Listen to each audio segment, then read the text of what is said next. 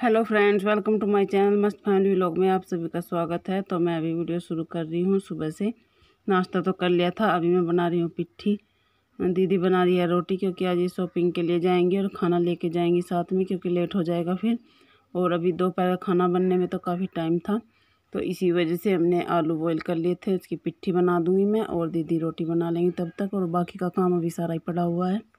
Machine भी लगा रखी है, कपड़े भी धुल रही हूँ और अभी नीचे भी जाना है मुझे पशुओं को नहलाने के लिए क्योंकि अब तो गर्मी होने लगी है, रोज़ ही नहाया करेंगे। और बस अभी मैं पिट्ठी बना लूँगी छोक हो गया था तो टमाटर भी डाल दिए मैंने।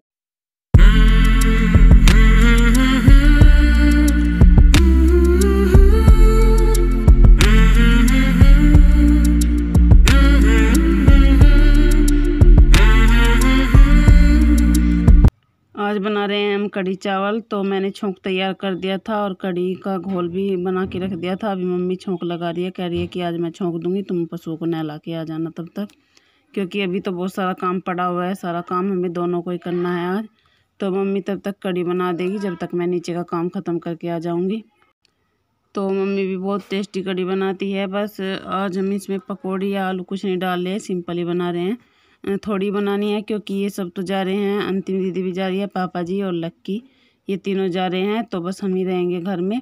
तो थोड़ी बनेगी और फिर कनू यहाँ पे आएगी। कनू तो खाती नहीं है, उसके लिए मैं पिट्ठी उठा के रख दूँगी, वो कड़ी नहीं खाती।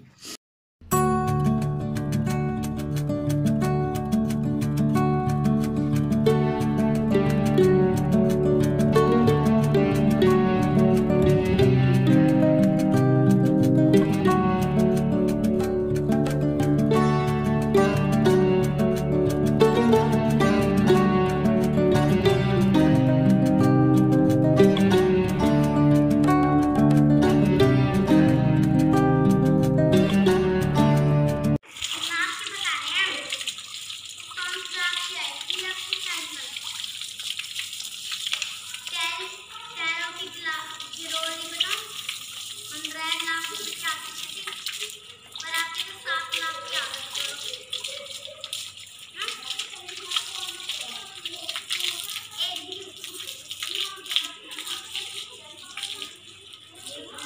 कितना लगा। कितना लगा। बसंती। को झटका लग गया मैं बसंती का बसंती हैं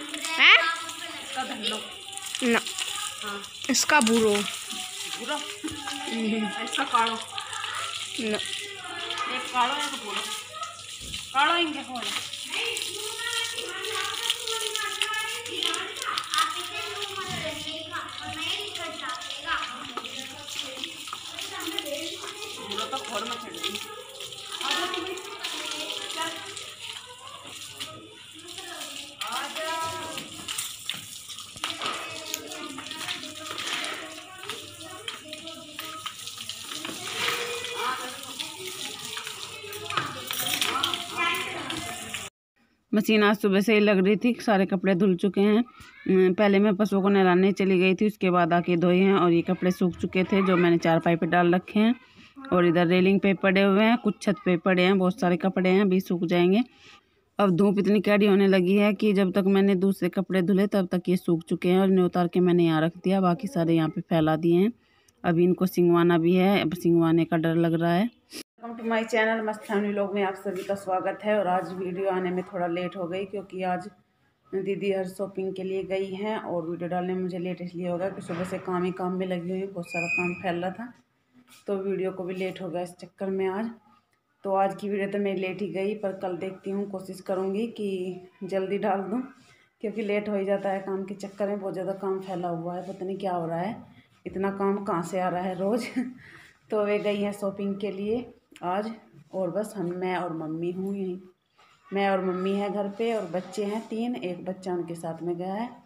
तो अभी मैं जा रही हूँ नीचे दूध निकलवाने के लिए, क्योंकि पापा जी भी गए हुए हैं उनके साथ में। तो नीचे चलते हैं, दूध निकलवा के आते हैं अभी, फिर खाना बनाना है शाम का। तो आज तो एक मिनट की फुर्सत नहीं मिली मुझे। खड़े होने की भी बहुत ज़्यादा काम था, और बहुत सारे कपड़े भी धुले हैं। कल मशीनें लगाई थी, आज लगाई थी तो बहुत सारे कपड़े हो रहे थे। वो धुले हैं और फिर उसके बाद ही पोछा लगा पाई। तो अभी बस नहा धो के अभी फ्री हुई थी और अब जा रही हूँ नीचे। मैंने सोचा पहले आपसे से थोड़ी सी बातें कर लूँ, नहीं तो काम के चक्कर में आपसे बातें भी नहीं हो पाएगी तो चलिए अभी चलते हैं नीचे। बाल्टी में दिया जा रही। से बना ले माई। तो भैंस का और एक गाय है, उसका तो निकाल लिया। ये वाली गाय रह रही थी, इसकी बाल्टी पकड़नी पड़ती है। रोज आज क्या हुआ? इसने बाल्टी में पैर दे दिया, बाल्टी फोड़ दी, दूध भी गिरवा दिया थोड़ा सा नीचे। पता नहीं क्या हुआ, इसे एकदम से ही कूद गई थी और अभी बहुत ही दुख हो रहा था, फिर मम्मी को भी, मुझे भी कि बाल्टी भी नवी फूट गई और नीचे भी दूध गिर गया काफ़ी सारा। पता नहीं क्या हुआ, आज इसको गाय को नहीं तो कभी भी नहीं करती ऐसा तो। आज तो इसने बुरा हाल कर दिया। मैंने बाल्टी संभालने की बहुत कोशिश की, पर पैरों के बीच में इसने फंसा ली और हमारे भी हाथ पैर टूटने का डर था। आज हमें भी चोट लग सकती थी। पर पता नहीं इसे क्या हुआ। एकदम से जिया खड़ी हुई थी। पता नहीं जिया से डर गई है या फिर ऊपर बच्चे बात कर रहे थे या उनसे डरी।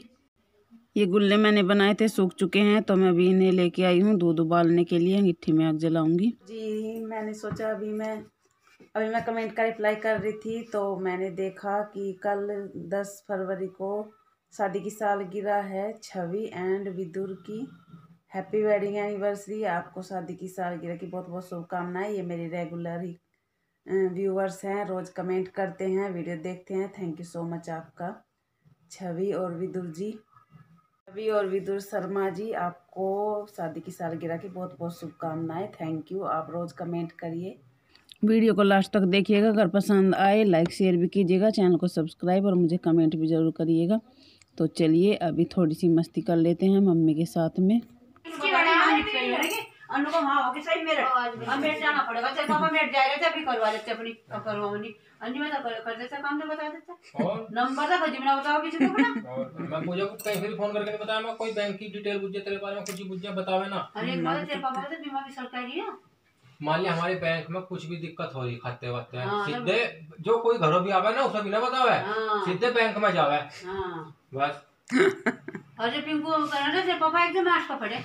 नुगाते मैं बोल रही थी मैं वाली। तो चलती रहा ये सब रहा पैसे काटने वाले? हाँ नुगाते बंदू पापा का चलती रहा फिर उससे बात करी जो लोन जैसी है करना होता है। उन्होंने कहा नुगा नुगा हमें पता लगना का नुगा जो कुछ हुआ नुगा फिर से बात करी तो दुकान में भेज जाओ किसका रेफर भेजा करो। यही जाओ ऐसा ही किट्टू का तो जाना बंद इसके तेल ताल अब लगे इसके बाल भाई किट्टू का सर दुकान पर बिल्कुल भी टमाटर दिन देखा तो अभी आप सबको घुमाने के लेके आए हैं डोली दीदी के घर। आप बोल भी रहे थे कि डोली दीदी के का घर भी दिखाइए। तो ये मेरठ में है मेरठ में गई हैं शॉपिंग करने के लिए दीदी। और ये उनका घर है तो देख लीजिए आप भी एंड तक देखिएगा वीडियो को आप सबको पसंद भी आएगी। और बताइएगा ज़रूर कि कैसा लगा आप सबको डोली दीदी का घर। वैसे आपने बड़ी दीदी का घर तो दो तीन बार देख लिया है वीडियो में, पर डोली दीदी का पहली बार देख रहे हैं। वैसे गाँव में है एक घर इनका और एक ये है।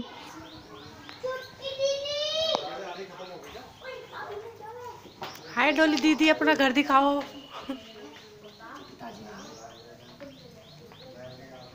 यहाँ तो अंधेरा। पर जाने का यहाँ पर एक रूम ये है। इधर और इधर ये वॉशरूम है।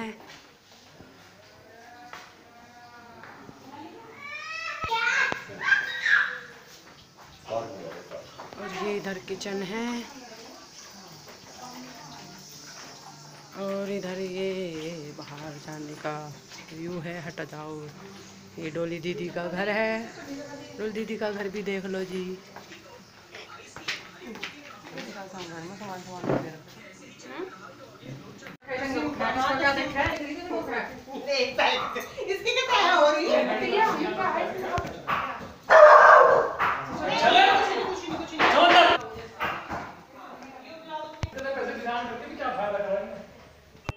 ये वीडियो है अगले दिन मॉर्निंग की और अभी सारा काम हमारा नीचे का तो हो चुका है, ऊपर ही पड़ा हुआ है सारा काम। मम्मी नीचे धूप में लेट रही थी, थोड़ी देर के लिए रेस्ट कर रही थी। ये जो हमने पौध ली थी उस पर फूल आ चुका है और कितना सुंदर लग रहा है। अब तो वैसे भी पौधे बहुत अच्छे हो जाएँगे। अगले महीने मार्च में पेड़ पौधे हरे भरे हो जाते हैं, बहुत प्यारे लगते हैं फिर। और बच्चे यहीं पे बैठे हुए हैं अभी। सारे कपड़े हो रहे हैं, स्टोर रूम में भी गर्म कपड़े हैं, ये उठा के रखने पड़ेंगे। अब तो सर्दी होने लगी है और यहाँ पे बच्चों की पतंग पड़ी हुई है। तो अभी ये सब सिंगवाना है, समेटना है और ये चॉकलेट खा के डाल रखी है बच्चों ने। और इधर भी देखिए क्या हालत है।